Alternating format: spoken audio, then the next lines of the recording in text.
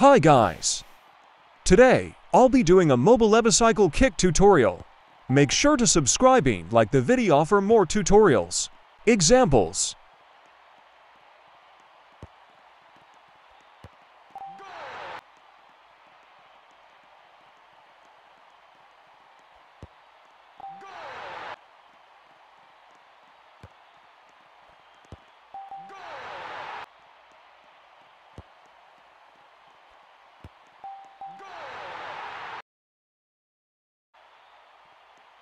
As the ball comes down, use two fingers to charge shot and jump immediately after. Both fingers must be on the button for it to activate.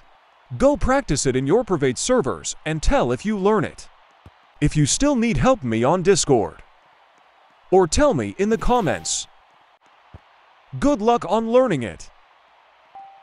Thanks for watching. Please subscribe.